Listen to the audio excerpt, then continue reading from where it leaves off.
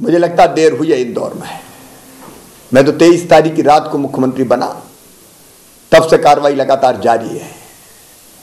हमने जिला प्रशासन को भी बदलने का काम किया है। अब सारी आवश्यक व्यवस्थाएँ, टेस्टिंग की, इलाज की, आइसोलेशन की, क्वारंटाइन की, सारी व्यवस्थाएँ हमने बनाई है। और जो टेस्टिंग हम कर रहे हैं, उसी से इतने पॉजिटिव प्रकरण सामने आए हैं, पॉजिटिव केस सामने आए हैं। पॉजिटिव अगर है तो पता चलना ज़रूरी है, क्योंकि उसके बाद हम इलाज की व्यवस्था सुनिश्चित कर रहे हैं। उनके संपर्क में जो भाई और बहन आए हैं, उनके परिजन, उनके मित्र, उनके सहयोगी, उनको भी क्वारंटाइन में रख रहे हैं। उस इलाके में भी सारे सुरक्षात्मक उपाय किए जा रहे हैं। मुझे विश्वास है, जल्द हम स्थिति पर नियंत्रण कर ऐसे लोग इंसान नहीं है। मानवता के दुश्मन है। डॉक्टर, पैरामेडिकल स्टाफ अपनी जान जोखिम में डाल के जनता की जान बचाने निकले, उन पर हमला, किसी भी कीमत पर बर्दाश्त नहीं होगा, सख्त कार्रवाई। राष्ट्रीय सुरक्षा कानून के अंतर्गत भी कार्रवाई इन पर होगी। अपराध है ये। सख्त कार्रवाई होनी चाहिए।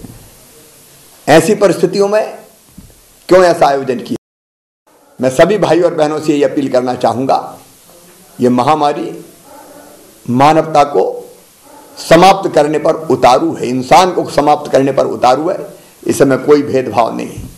जाति, पंथ, वर्ग, सारे भेद भूल जाए। हम सब मिलके इस महामारी के खिलाफ लड़ें, घरों में रहें लॉकडाउन का पालन करें सोशल डिस्टेंस बनाए रखें, प्रशासन को पूरा सहयोग करें। आप सबके सहयोग से ही हम लड़ेंगे।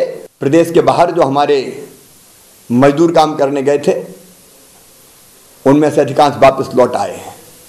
जो बाहर के प्रदेशों में है, वहाँ के मुख्यमंत्रियों से चर्चा करके उनके रहने और भोजन की व्यवस्था हमने सुनिश्चित की है, दवाई की व्यवस्था सुनिश्चित की है। जो मध्य प्रदेश में हमारे मजदूर भाई और बहन आ गए हैं, उनको हमने अपने घरों में ही आइसोलेशन में रखा है। उनका चेकअप हो रहा है। ज़रूरत पड़ने पर दवाई की व्यवस्था की जा रही है। निःशुल्क राशन की व्यवस्था हम कर रहे हैं। उनको कोई तकलीफ़ ना हो। ये कोशिश हमारी